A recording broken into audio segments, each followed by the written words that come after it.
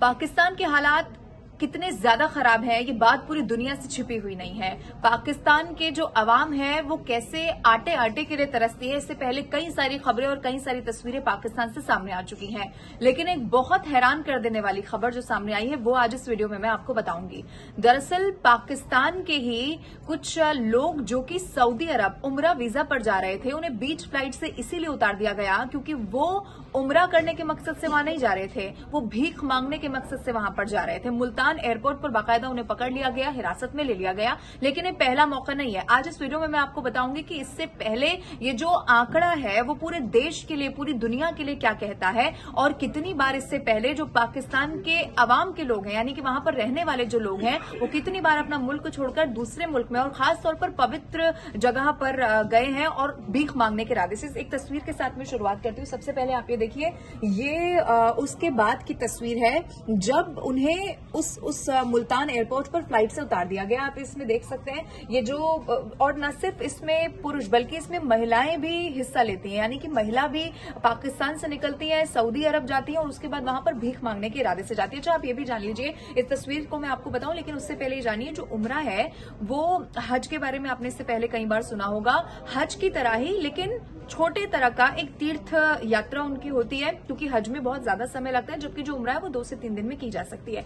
अब आप ये समझिए कि वो कितनी ज़्यादा पाक जगह होती है। कोई भी मुसलमान वहाँ पर कोई भी ऐसी हरकत करने से पहले सौ बार सोचेगा, ऊपर वाले का ख्याल करेगा। लेकिन जो खबरें निकलकर सामने आ रही हैं और आंकड़ा तो ये भी कहता है, अखबार ये भी छापते हैं कि जो ऐसी जगहों पर जेब कतरे तक भी होते हैं, वो सबसे ज़्यादा पाकिस्तानी होते हैं। अब तस्वीर में आपको बताती हूँ देखिए sixteen beggars offloaded from Saudi Arabia bound flight यानी कि जो फ़्लाइट थी, उस फ़्लाइट से बीच में इन्हें उतार दिया गया।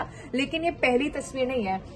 ये भी यही छापा गया, यही अखबार में बताया गया कि कैसे वहाँ पर भुखमरी तो है ही, लेकिन अब वहाँ के आवाम को आप सोचिए कि उनकी मानसिकता भी किस तरीके की हो गई है कि वो जानते हैं कि पाकिस्तान में रहकर उनका कुछ भी नहीं होने वाला है। इसीलिए वो इतनी पाक जगह पर जाकर भीख मांगना मुनासिब समझ रहे हैं, लेकिन अपने मुल्क को वो छोड़ देना चाहते हैं। आगे भी आप देखिए, एक रिपोर्ट ये भी कहती है कि जो नाइन्टी परसेंट, नब्बे परसेंट जो भिखारी भीख मांगते हुए अरेस्ट किए जाते हैं, और इसमें खास खास तौर पर इराक का नाम शामिल है, इसमें सऊदी अरब का नाम शामिल है, वो 90 परसेंट, ये बहुत बड़ा आंकड़ा है।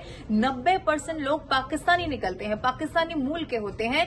हालाँकि आपको ये भी बता दूँ कि जो राजदूत है इराक और सऊदी अरब के, वो ये भी कह चुके हैं कि जो जेलें हैं वो भर चुकी हैं। गिरफ्तारियों से हिरासत में जब लिया जाता है तो सबसे ज़्यादा जो जेबकतरे होते हैं, जो भिखारी होते हैं, भीख मांगने वाले लोग होते हैं, वो पाकिस्तान से ही आए हुए होते हैं। अब इस खबर से ज़रूर आप इस बात का अंदाज़ा लगा सकते हैं कि वहाँ की स्थिति कितनी ज़्यादा खराब हो चुकी है। एक और तस्वीर में मैं आपको दिखाती हूँ जो पूर्व प्रधानमंत्री हैं नवाज़ शरीफ, उनकी तरफ़ से आपको याद होगा, जब जी ट्वेंटी भारत की तरफ़ से सफलतापूर्वक उसकी मेजबानी की गई थी, तब उनका एक बयान सामने आया था। उनकी तरफ़ से कहा गया था कि Pakistan begging for money while India reach the moon यानी कि जी ट्वेंटी का सफलतापूर्वक वहाँ पर आयोजन किया जा रहा है। वहाँ पर इंडिया चाँद पर पहुँच रहा है, लेकिन पाकिस्तान की हालत आप देखिए कैसी है।